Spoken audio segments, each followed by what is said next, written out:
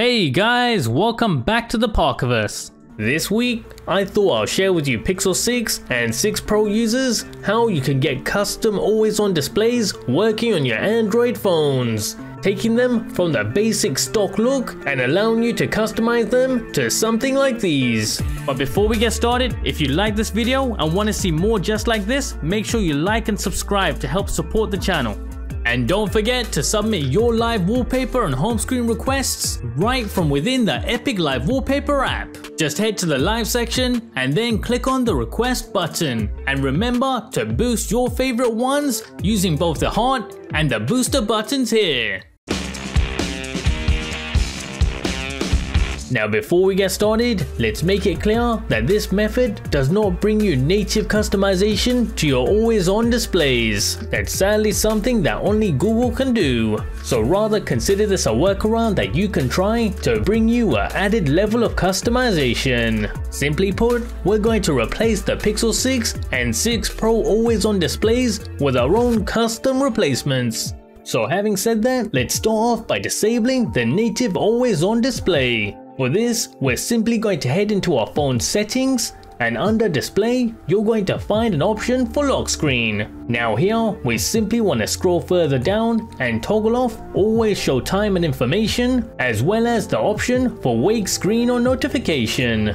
So now that we have that out of the way, here are my two recommendations for always on display replacement apps that you can try out. The first of which is always on Edge Music Lighting, which brings with it not only an always on display, but also a music visualizer. Just simply install the app and make sure to allow it all of the permissions that it needs in order to work properly, including managing your notifications as well as displaying on top of other apps. And additionally, make sure to click on each one of these buttons here to enable each one of their functions. Now right out of the gate, you'll be welcomed by the visualizer selection screen, which you can swipe through to select the one that you want to set to your phone. So feel free to check this out later on. But for this quick tutorial, we're more interested in the AOD button within the lower menu. Here, you'll be able to select from a handful of always on display layouts and with each one you'll be able to fully customize them, including adjusting the colors. My favorite from the list is this Android 12 themed look. Now the app is free to try out yourselves, however to unlock the full set of features you will need to upgrade to the premium version. Now by default this app is set to timeout after 30 minutes, so make sure to also head to the settings menu and set the timeout option to never if you want to keep the custom display always shown. Having said that, for those of you worried about screen burning issues, sadly outside of the timeout option, there's no other guaranteed protection option available.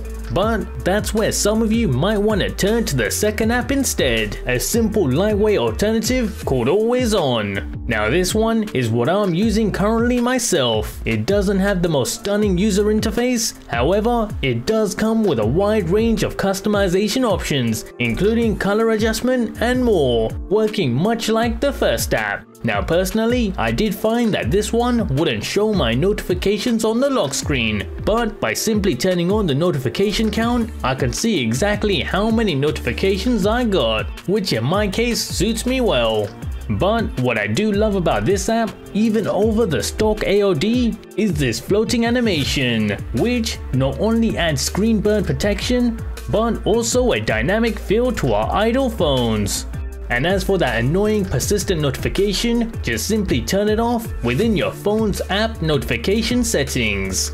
If you like this video and want to see more just like this, make sure you like and subscribe to help support the channel. And make sure you check out my other Android customization videos. See you next time on Into the Parkerverse.